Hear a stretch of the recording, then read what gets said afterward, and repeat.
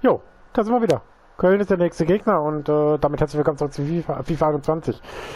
Ja, Sperre abgelaufen. Äh, Danny Latza darf wieder spielen nach seiner gelben Karte.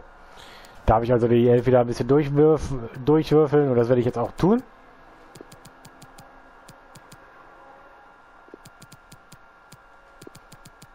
So, äh, Paulinho, Hazard. Ich probiere es jetzt mal mit Da Costa auf der Innenverteidigerposition. Und Neuer mal dabei. Wieder. Dann nehme ich Akbuguma raus und bringe mal Becker, damit wir nämlich eine Alternative hinten auf der rechten Seite haben. Und damit passt das auch wieder.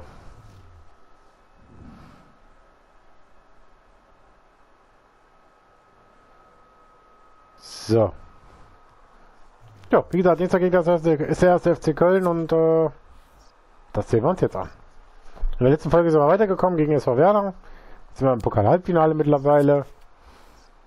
Gucken wir mal gerade 1,3 Millionen, die wir noch zusätzlich verdient haben. Läuft.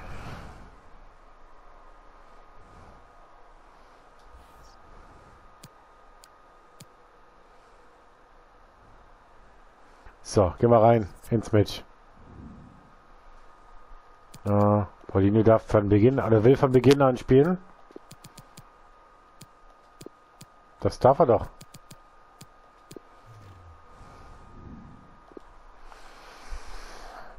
Na dann, auf geht's ins Match.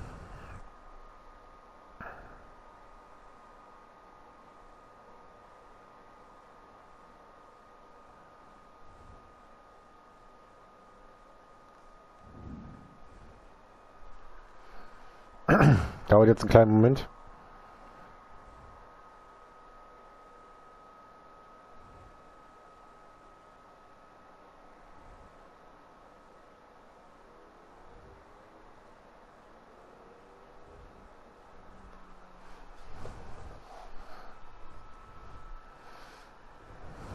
Die Erwartungen sind groß vor dieser Partie und das spürt man auch an der Atmosphäre. Alle fiebern sie hier dem Anpfiff entgegen. Wir freuen uns auf 1. FC Köln gegen Schalke 04.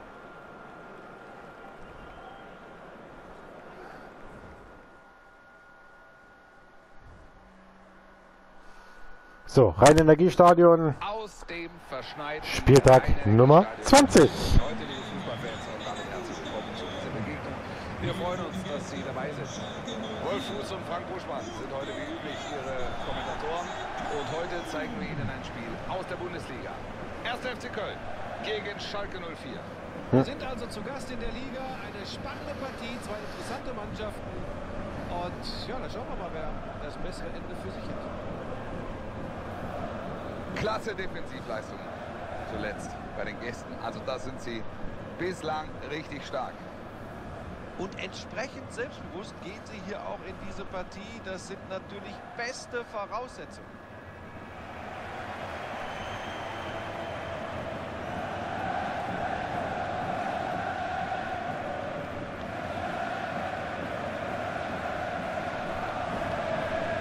So, auf geht's gleich ins Match.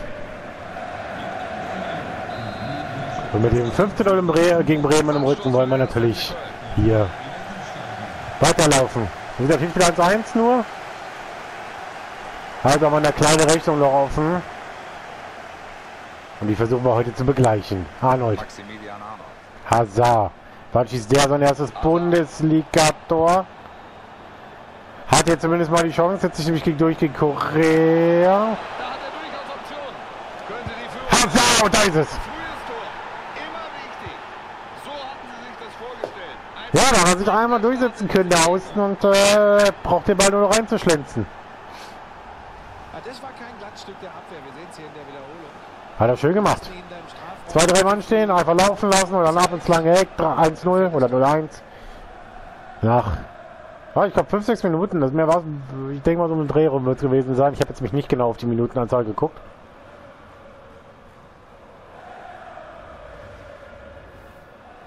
Jetzt war in der fünften. Habe ich sogar gut geschätzt. Wie gesagt, ich habe jetzt nicht auf die Anzeige geguckt, auf die. Minutenanzeige. Aber passt. Früh ist 1-0.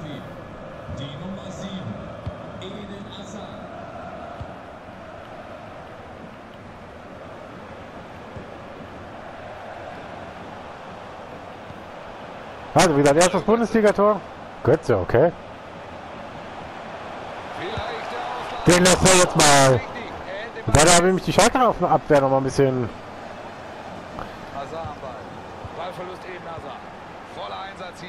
Ball. bisschen alt aussehen lassen, aber diesmal passt es. Hastrate. Kein Foul. Nein, nein, nein, nein, nein, nein, nein, nein, nein, nein. Es war ganz fair Ball gespielt. Da wollten die Fans einen Elfmeter.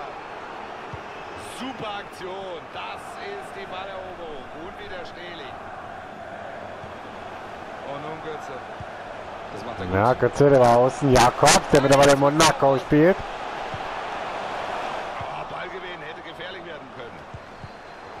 Oh. Oh, das war wichtig, weil der Ball hätte nach vorne durchgehen können. Damit bleiben die Kölner mal äh, bei Besitz. Da wird die ganz gefährlich, aber passt. Also, Jetzt eben Hazard. Und das ist der Ballverlust. Zu einfache Fallverluste momentan.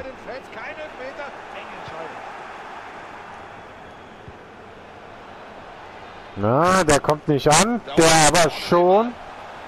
Und das müsste eine Karte geben und es gibt vielleicht rot, aber es dürfte gar nicht, okay. Ich hätte eigentlich jetzt gedacht, dass es da Minimum eine Karte gibt für.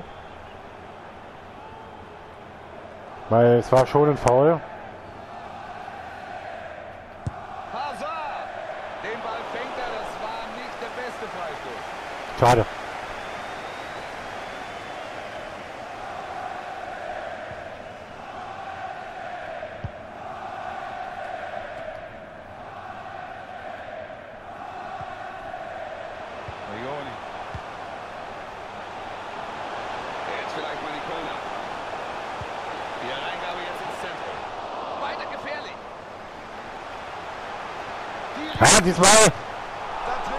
ihr müsst mich aufpassen. Irgendwann geht so eine Grätsche auch mal schief und dann gibt es nämlich einen Elfmeter für die Kölner. Und die Kölner haben schon, ganz, wie gesagt, im Spiel schon zwei Punkte abgenommen. Und genau das will ich heute verhindern. Deswegen, ah, kein Abseits. Abseits Baku, äh, Gott, Baku, der Costa. 33. Minute nach diesem frühen Hazard-Tor noch nichts wirklich Bürger Verstrate. weiter Zählbares passiert. Das Elfmeter. Ich gehe mal ins Studio. Bayern hatte hier einen Elfmeter. Aber Gabriel Jesus ist gescheitert. Klasse gemacht. Und das ist der Ausgleich. Nicht Unglaublich. Den hatten hier alle schon drin gesehen. Gott sei Dank noch nichts passiert. So richtig glücklich sehen da einige Spieler nicht aus, dass sie bei diesen Bedingungen hier auflaufen müssen. Ja, wen wundert's? Aber da musst du durch. Und ach, sie kennen das vom Training. Jetzt Burkhardt. Sie probieren es mal mit Burkhardt statt heute Alario. Wartet den Moment. Und jetzt hat er noch Platz und Partie fast identisch wie das 0-1, das 0-2, Johnny Burkhardt. 21. Zusätzlich Selbstvertrauen. Nochmal dieses Tor. Wir sehen, wie er die Gegner reihenweise stehen lässt. Da hat er sich abgesetzt und die Verteidigung schlecht aussehen lassen. Er war einfach zu schnell für sie und versenkt das Ding eiskalt. Ja, er kann natürlich zufrieden sein mit dem, was seine Mannschaft hier heute zeigt. Deutliche Führung, genau so hat er sich das erhofft.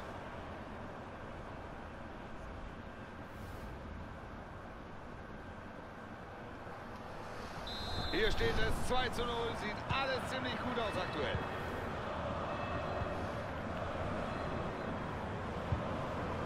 So, auf jeden Fall 0-2 erstmal. Das ist schon mal eine ganz, ganz wichtige,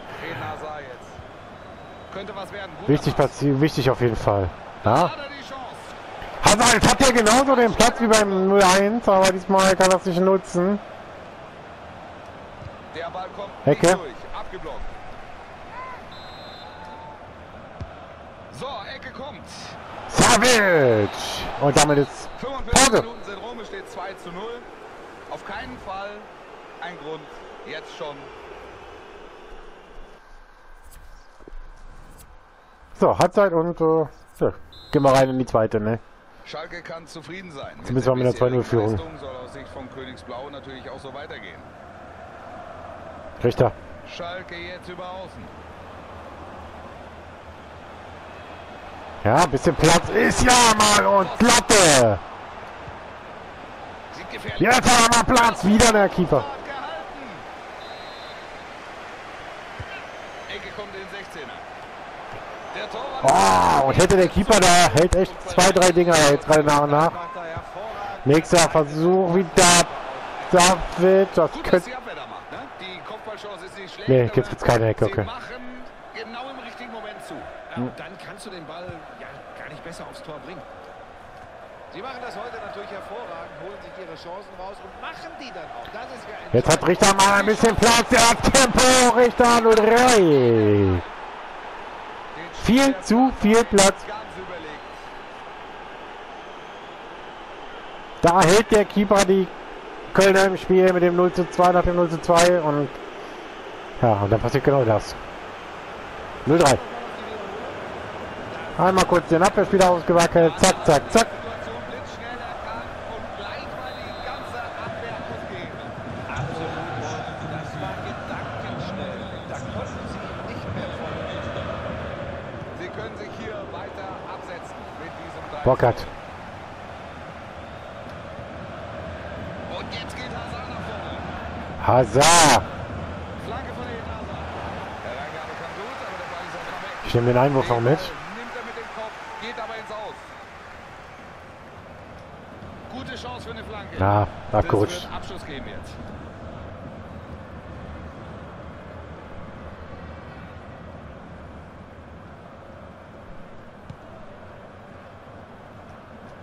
Er wird also tatsächlich wechseln. Es geht für ihn nach Valencia. Also mit ihm verstehe Bellerin. Das macht er gut. So, jetzt gibt's irgendwas. Da gibt er Freistoß. Gute Nichts. Kann wieder keine Karte. Der Torhüter dirigiert seine Mauer. Das könnte jetzt gefährlich werden.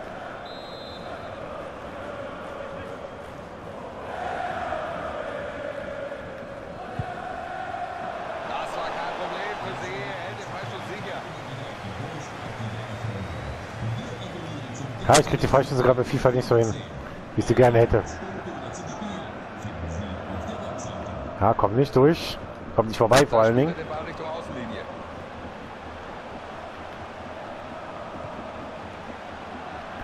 Guter Weitenwechsel auf Despodov. Der macht den Götze. Im eigenen Strafraum geht er da recht rustikal zur Sache, aber der Schiri deutet an weiterspielen. Kein gutes Ding hier. Richter von der Seite. Horn aus. kommt nicht wirklich hinterher. Erstmal rausgefaustet. Ah, Da passt er auf, Ball geklärt. In der Bayer Arena hat sich was getan, es ist ein Tor gefallen. Wir gehen kurz rüber ins Studio. Wir haben hier Tor Nummer 3 für Leverkusen. Neuer Spielstand damit also 3 zu 0.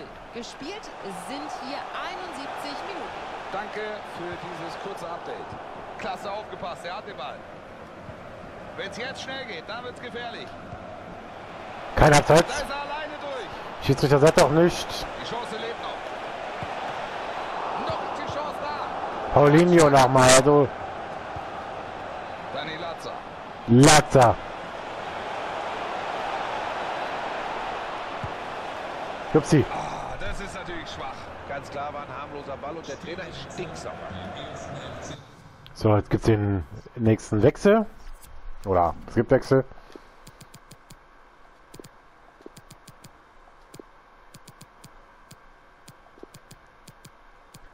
So, jetzt wechseln wir dreimal durch. Jetzt wird es die Auswechslung geben. Eine gute Leistung heute von ihm und jetzt hat er Feierabend.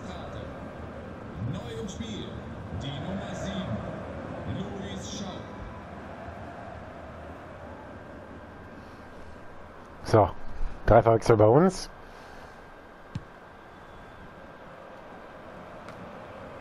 Und damit sind sie am Ball. Sieht vielversprechend aus.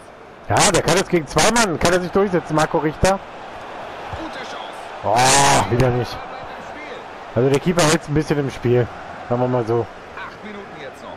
Aber ich denke mal, drei Tore in acht Minuten, das ist fast nicht möglich. Der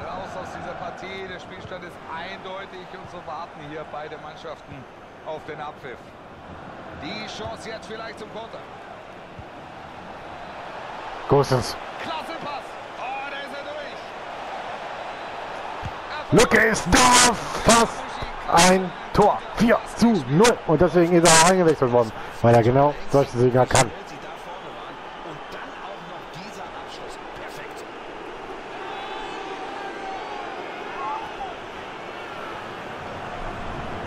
Hier sehen wir, wie er die gesamte Abwehr einfach abhängt und verfolgt. Am Ende hat er noch nicht nur den Ball ganz grob geköpft. Das Resultat ist doch ziemlich eindeutig und lange zu spielen ist die. So, eine Minute sind noch zu spielen jetzt. Jetzt haben sie den Ball verloren. Ah, schön dazwischen gegangen.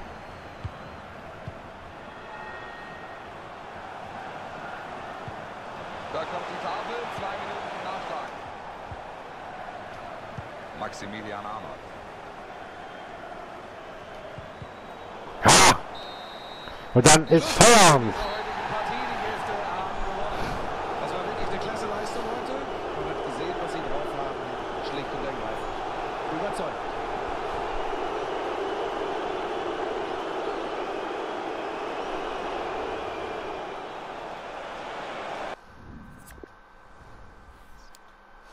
So, damit sind wir durch mit dem nächsten Sieg.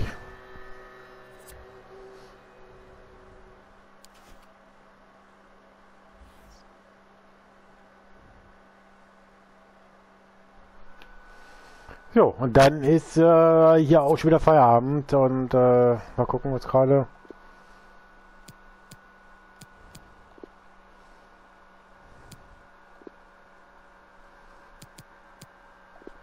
Genau, Coutinho und Paulinho wollen beide ein bisschen was. Vorschlag für die Kapitänsrolle.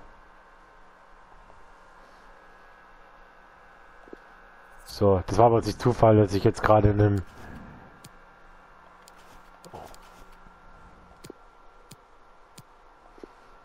So, dann bringe ich der Latza zumindest mal als Kapitän. Ja, der kann halt eigentlich relativ gut. Und dann sehen wir uns in der nächsten Folge wieder und äh, dann geht's weiter mit dem nächsten Spiel. Ich weiß noch gerade nicht, wie gegen wen. Sehen wir dann. Bis dahin und tschüss.